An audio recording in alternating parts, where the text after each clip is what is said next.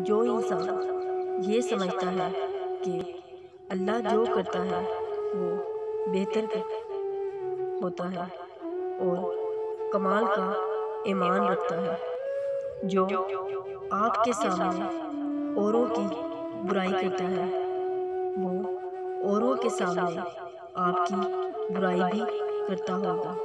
अहमियत अल्फाज की होती है, मगर असर हमेशा लहजों में होता है।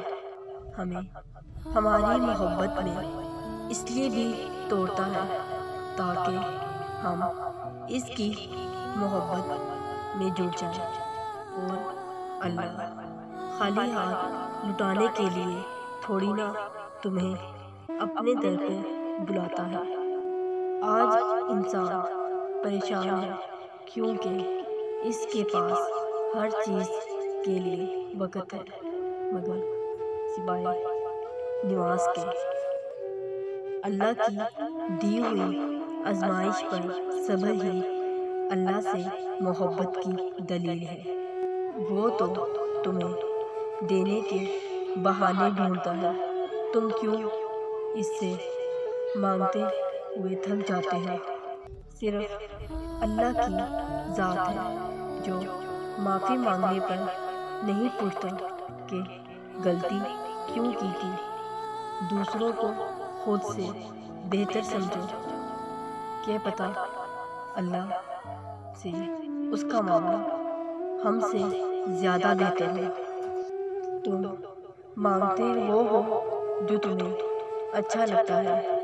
और अल्लाह वो देता है जो तुम्हारे लिए अच्छा होता है। अल्लाह के डर से एक गुना छोड़ना लाख तहजद और नवाफिल से बेहतर है। जिनका भरोसा अल्लाह हो, वो वक़्त और हालात से शिकायतें नहीं करते। रब को हमारी नहीं, हमें रब की ज़रूरत है।